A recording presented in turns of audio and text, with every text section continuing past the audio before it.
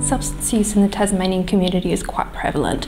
When I talk about substance use, I mean uh, illicit drugs such as heroin, ice, but also alcohol, tobacco, caffeine, prescription medications.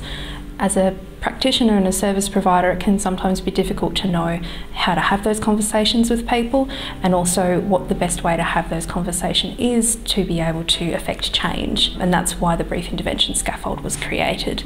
It intends to create a baseline level of knowledge for practitioners and then to elevate their practice so that their brief interventions can be effective, they can be sensitive and produce the best outcomes for everybody. The brief intervention scaffold is in three parts. The first part is the blueprint, which contains all the information about what a brief intervention is, how it works, the research behind it. Next, you have the toolbox, which is just what it sounds like, has everything you need in order to provide a brief intervention, all the tools that you need. And then finally, you have a briefcase, which is the short one or two page summaries that you can keep on your desk, stick up on a wall that help remind you the most critical parts of a brief intervention. A brief intervention is a short conversation between a worker and a person in the community aimed at eliciting health behaviour change.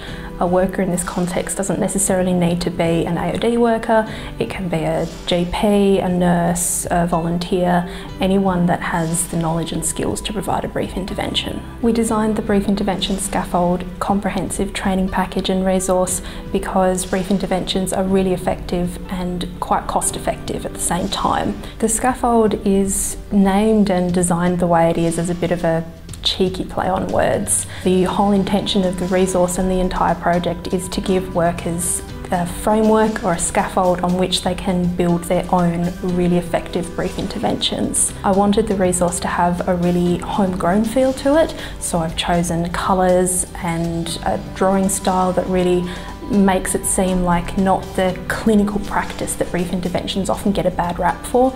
They really are a very gentle and very bespoke way of talking to a person. So that's how I designed it. They're a really accessible way for workers to affect some real change in the community, so it was a no-brainer for us to uh, increase the capacity of Tasmanian workers. Within the alcohol and other drug context, this is generally starting by giving feedback about a person's substance use, whether they're using more than the recommended guidelines or whether their use provides risk to their health.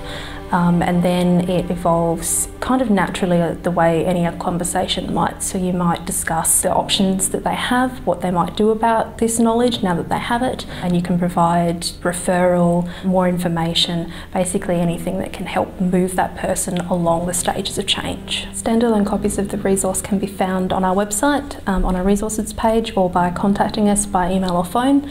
Otherwise, you get a copy of the scaffold when you sign up for the Brief Intervention Scaffold training learning.